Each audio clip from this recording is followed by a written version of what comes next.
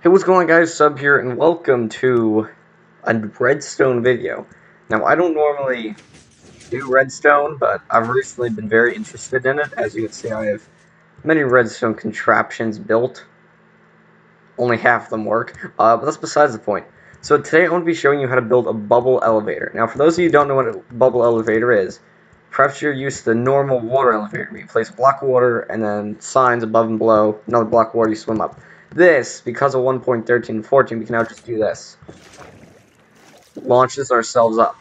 Now, I'm going to show you how to build this, and it basically is it's very simple. You have soul, soul sand, which boosts you up, because if you don't know, soul sand, when underwater, creates bubbles that push you up. Magma blocks are the opposite, they pull you down. So I'm going to show you how to build this super simple bubble elevator, and you put in your survival worlds, and yeah, pretty good. So, you want to do is you want to start off with soul sand and magma block. Now, you're going to want to have the magma block as the base block, the block you're going to have uh, in the elevator, because you're going to push it around. So, basically, how this works is you have these two, and when you give power to them, uh, they're gonna, this one is gonna push and do nothing. This one is gonna replace the magma block with the soul sand, so you'll get pushed up. But, to do this, you need to obviously activate it. So when you're going to your elevator, you're going to have a stone pressure plate. That stone pressure plate is going to run redstone power through the block it's on into the redstone here, which is going to go around into, nope, that's wrong. It's going to go around into this piston. So when you step on it, it's going to activate the piston. Doesn't exactly do much. Actually, this is opposite. You're supposed to have the soul sand like that. Like that, guys. Alright. Then you're going to want to have an observer observing the piston. So when that piston pushes the soul sand over, it's going to emit a redstone signal, which is going to go uh, through three, four, actually, what's it, three? Yeah, no, I put a lot more because it. You want to have your timing down. If it if you can't get through the door fast enough, then this is this is not the circuit you. This is basically actually the whole circuit. You have a pressure plate that that's wrong. Alright, so I'm actually going to build this up right now. So you have your redstone blocks. And, alright, hang on. Just one second, guys. One second. I'm going to snacks last. Uh, so, here you can clearly see that we have a door. Not much about it, I guess. Just got a door, some glass on top. We don't have the water in yet, but as you see, when you step on the pressure plate, the door's going to open, it's going to switch soul sand, then it's going to switch back to the magma block. Now, if it's too fast for you and you have a long bubble elevator, you may want to just increase the amount of time it takes for the signal to go from the observer. So that way you have more time to go up the elevator. Uh, these do only have a certain reach though, so you know, it's not the best. I can't do that water. Alright, so I'm going to grab some water right here. Feel like I'm going too fast. You can you have to fill up every block with water by itself. So as you can see, we filled up every block with water. And if we go and step on the pressure plate here, door's going to open, it's going to be soul sand, we're going to get pushed up, then it's going to switch to the magma block. So when you want to go back down, simply step in it, pulls you back down, walk out, and that's the circuit. Now, you can do a lot of fun stuff with bubble elevators. Like a lot of fun stuff. You may think, oh, it's a better water elevator, it's faster, costs a bit more, but you can prank people with this if you don't know. So, you got the magma block, and you could not pull soul sand. You do not need soul sand. Although, if you really wanted to prank someone good, you could just build a another bubble elevator like this. Uh, Peter and Redstone. Uh, so we'll just have and then connect this to the piston. Have our pressure plate. I cannot spell today. Yeah, so we can have the pressure plate. And this is, as you see, and I just made another water elevator. But there is very good reason for this. I want to show you how you can prank people with these water elevators. Because these are these are really good. And I know I'm saying water elevator instead of bubble elevator. That's that's because I'm not used to actually calling them bubble elevators. I'm too used to the regular one. So, when you step in, it's going to do the exact same thing as the other one. It is going to punch the soul sand, and you will be boosted up. But what you can do without that is you can prank people with this. Now, you may be wondering how. There are many different ways.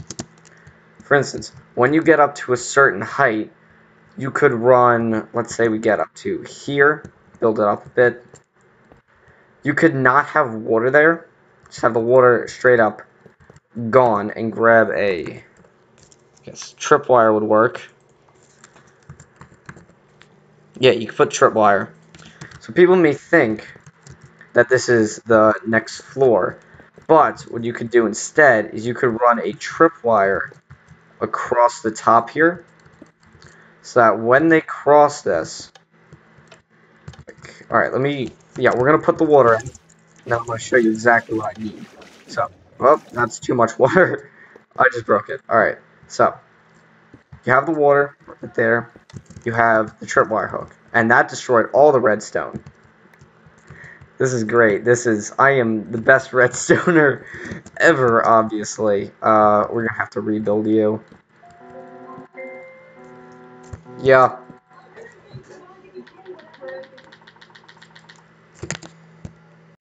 Okay, so I just got a phone call. Don't know if you guys heard that, but ignore it if you did. I'm not the best at editing, so I don't think that'll be edited out if you can hear it.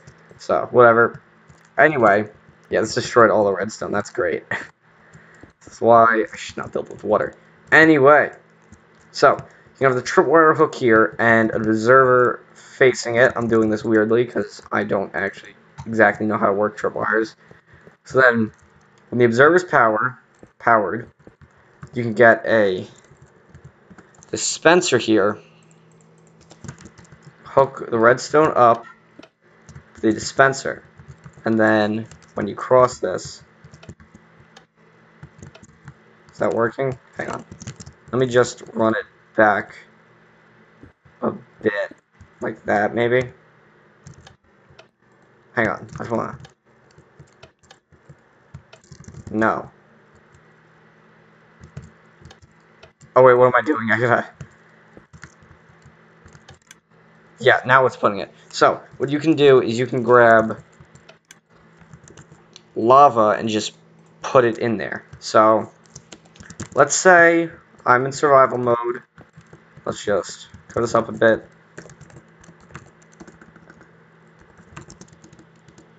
Survival here. So we're in survival mode.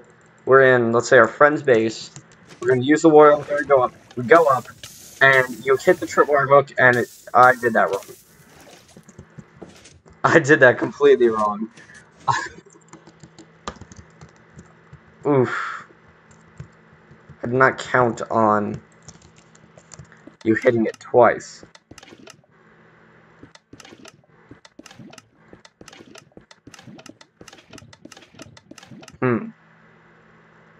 Okay, so maybe this is a bad idea. but what you can do is, instead of tripwire hooks... Actually, yeah, we can still use the tripwire hooks. I think that's a pretty good idea. So you have the tripwire hooks, you have your observer, and when this is powered, what we can have is we can have a piston right down here. You would obviously not build it like as obvious as I am building it right now, but you will have a piston. No, I want to have you. No. See, I don't want to destroy my water when I build this, so we're just gonna Alright, there we go. So we got the piston there. So what you can do, you can have it so that, let me grab the redstone really fast. That's not to fully work, is it? Alright, hang on. Let me get a block there. Yeah, so that is going to push a block below you when you go up. And, you know, just reset that and grab the water bucket just to, yeah, want to make sure that works. So, you can have it so that when you hit up there, it's going to activate the piston. Yeah, so activates piston, does that, and then what you can have is a dispenser from, alright, so we can have an observer observing the piston. And when that happens, this can give out a redstone signal. This is overly complicated. If any of you guys actually understand redstone, you will probably be a lot better at this than me. Anyway, so when that happens, you can have all of this activate a dropper right here. And this dropper with lava in it, and because I didn't build it weirdly this time, it should just dispense it once. Because it will destroy that. And the piston will be there. So, I'm just gonna quickly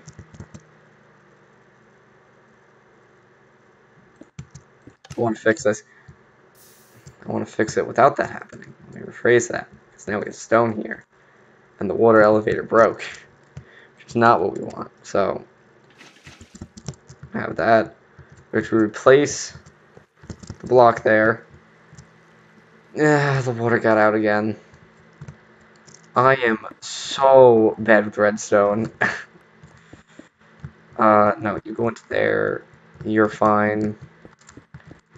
You're just... Do we have repeaters on us? Yes, we do. Uh...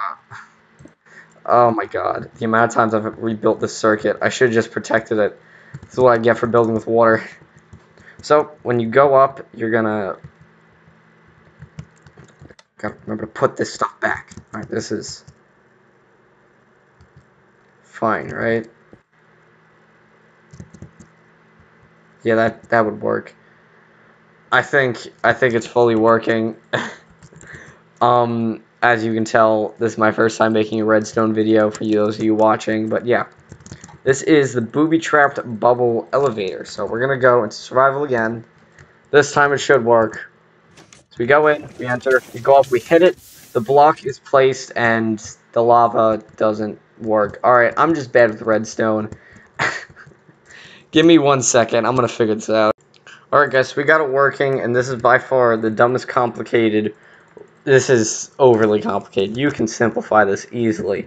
So what I added besides this is I made it so that when this dispenser puts lava down, this observer is observed by this observer, is observed by this observer, which is going to activate this dispenser to release water to stop this circuit. Just release water, stop that one redstone from going to this, so the lava stays.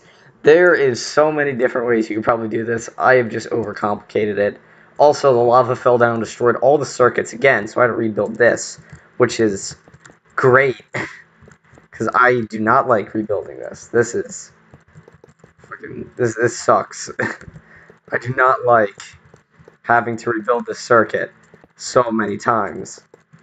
But anyway, this is my overcomplicated elevator of death. This is that is what this is.